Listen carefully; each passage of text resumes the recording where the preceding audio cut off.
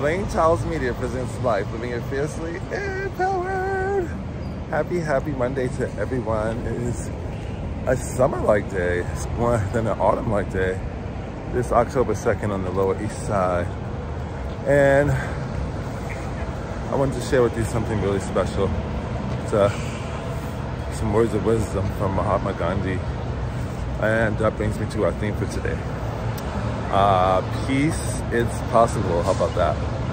And uh, social inspiration is from my little book of favorite quotes, my notebook on my iPhone. And I was pulled this one out because I really think it speaks to the work that needs to be done in order for peace to be possible. So, quote, I offer you peace, I offer you love, I offer you friendship. I see your beauty. I hear your need. I feel your feelings. My wisdom flows from the highest source. I salute that source in you. Let us work together for unity and peace. How about that? Isn't that so gorgeous? When I read that, I was like, I have to share that today. That's on my motivational, motivational Monday with BCD quote, right? And um, I want us to marinate on those words as we step into this first week of October.